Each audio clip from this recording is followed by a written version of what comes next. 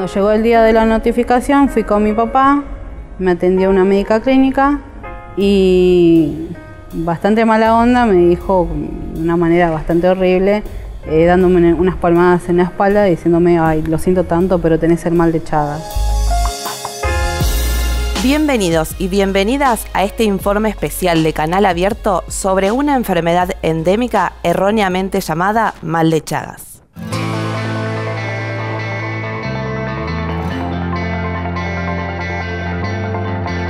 El Chagas es una enfermedad que la produce un parásito que tiene diferentes vías de transmisión, que ataca a diferentes mamíferos, entre ellos el ser humano. Desde hace muchos años, el Chagas es la enfermedad endémica más importante del país. Según el Ministerio de Salud, la enfermedad afecta a 1.600.000 personas. Esto representa el 20% de la población mundial que vive con Chagas. El 66% de contagios se da en ámbitos urbanos y solo el 33% en zonas rurales. Otra cifra alarmante es que por año nacen 1.500 bebés con esta enfermedad en Argentina.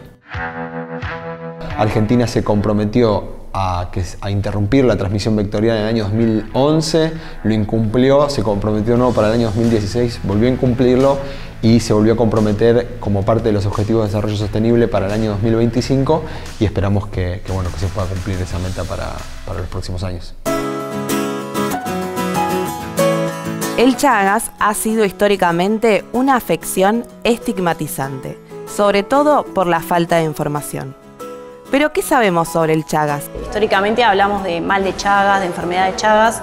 Hoy en día son, digamos, eh, denominaciones que tratamos de desestimar un poco, digamos, porque sabemos que llegan a la discriminación, a que la persona lejos de querer saber su diagnóstico se esconda y no quiera saber. Y nosotros hablamos de personas afectadas con Chagas no solo para disminuir los niveles de discriminación que tienen las personas que tienen un diagnóstico positivo, sino básicamente porque no toda persona que tiene una serología positiva está enferma de Chagas. ¿sí? El Chagas está y no está, digamos, en, la gente.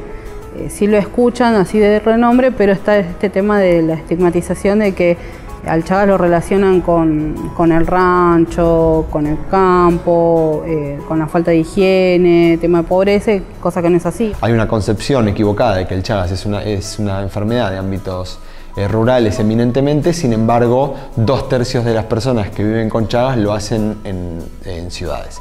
Buscamos información para ver cómo, cómo llegué a tener yo Chagas y bueno, resulta que cerrando el círculo dimos con que mi mamá es positivo en Chagas y eh, mi vieja en ese momento me contaba que le decían que no era necesario hacerse el análisis porque no, les parecía relevante. Sabemos a ciencia cierta que de 10 personas que tienen una serología positiva, en caso de los adultos estoy hablando, solamente 3 van a desarrollar en algún momento de su vida la enfermedad. Lo más conocido es la, la conocida como transmisión vectorial, que en nuestra región lo transmite un insecto que se conoce vulgarmente con el nombre de vinchuca. Hay diferentes especies y tiene diferentes distribuciones según el, área de la Argentina en el que estemos.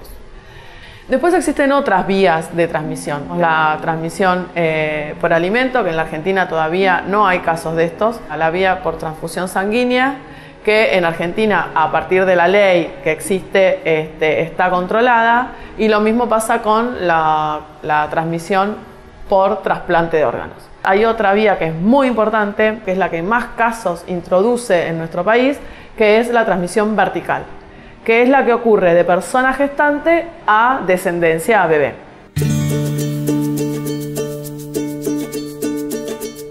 Hasta hoy el Chagas no tiene cura pero sí existen tratamientos que ayudan a transitarla y existe una alta posibilidad de neutralizarla en recién nacidos.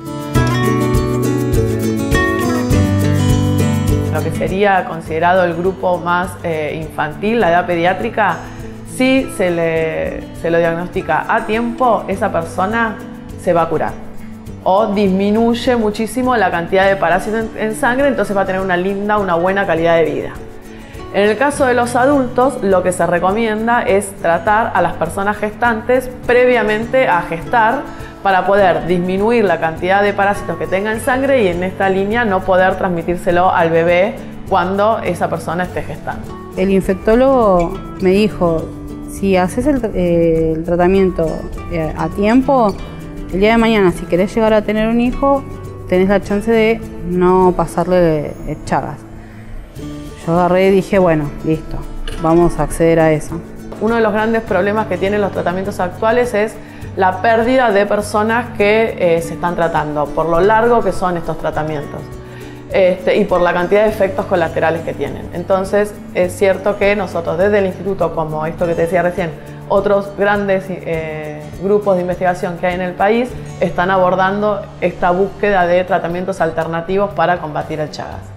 Fueron dos meses, el primer mes normal, el segundo mes fue bastante mm, particular porque empecé a tener un montón de síntomas adversos de la medicación, falté mucho tiempo a la facultad, quería terminar de hacer el tratamiento porque eh, yo sabía que desde el día de mañana, si llegaba a tener un hijo o hija, mm, estaba tranquila de que no le iba a pasar eh, el Chagas. Nosotros tenemos todo un sistema de seguimiento de esa persona gestante y de su bebé, de ese primer control que viene, con llamados recordatorios, con digamos, facilitarle el acceso en caso que esa persona no pueda volver, porque muchas veces vienen del tercer y cuarto cordón del conurbano bonaerense, y poder facilitar que esa, esa persona y su bebé puedan cumplir sus, sus controles en el lugar de referencia y así tener un diagnóstico y en caso de ser un negativo darle un alta y en caso de ser un positivo recibir la medicación como la ley lo contempla hoy en día. 15 años después de su sanción, en abril de este año, se reglamentó la Ley 26.281 de Prevención y Control de Chagas.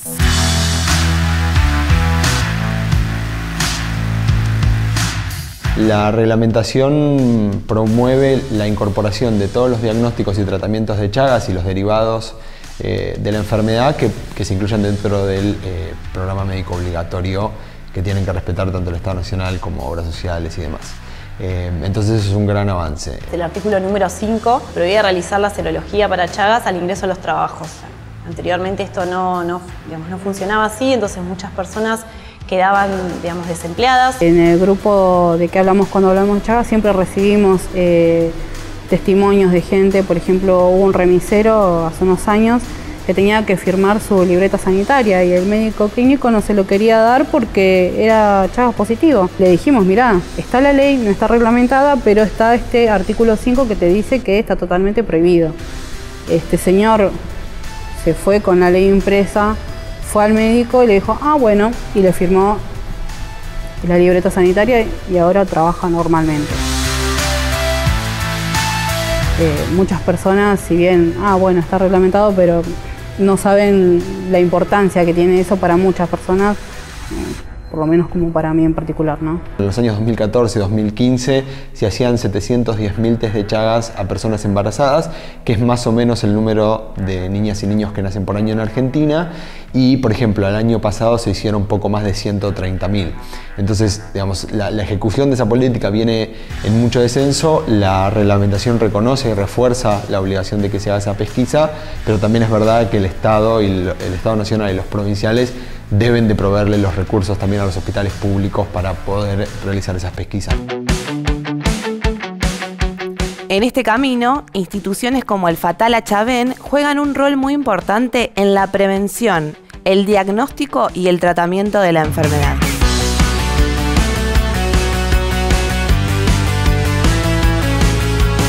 Se hace el diagnóstico a toda persona que esté interesada, se le asegura el acceso al mismo, como también al acceso a la información, como el acceso al tratamiento. Nada más que con DNI, 8 horas de ayuno, cualquier persona puede venir a hacerse este primer estudio, 10-15 días tiene su resultado. Eh, y en el caso de ser reactivo, bueno, se lo asesora para que pueda atenderse o en su sistema de salud, en caso de tener una obra social, o en el hospital, en caso de tener sistema público cercano a su domicilio, o bien pueda atenderse en el departamento de clínica del Fatala, donde también hay médicos que puedan dar respuesta a ese seguimiento, a ese tratamiento. Ahora ya sabes lo que es el Chagas, cómo se trata y que hay una ley que promueve su control. Y que además las personas infectadas pueden vivir una vida normal si se la detecta a tiempo.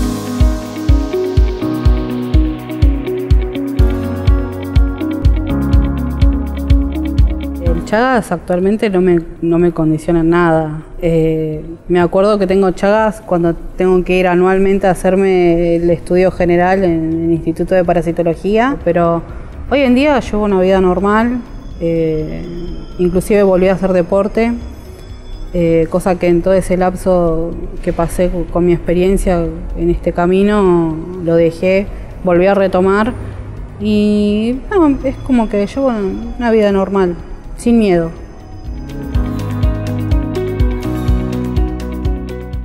Si te gustó este video, suscríbete a nuestro canal, pone me gusta y comenta. ¿Eso? ¿Sí? Ok.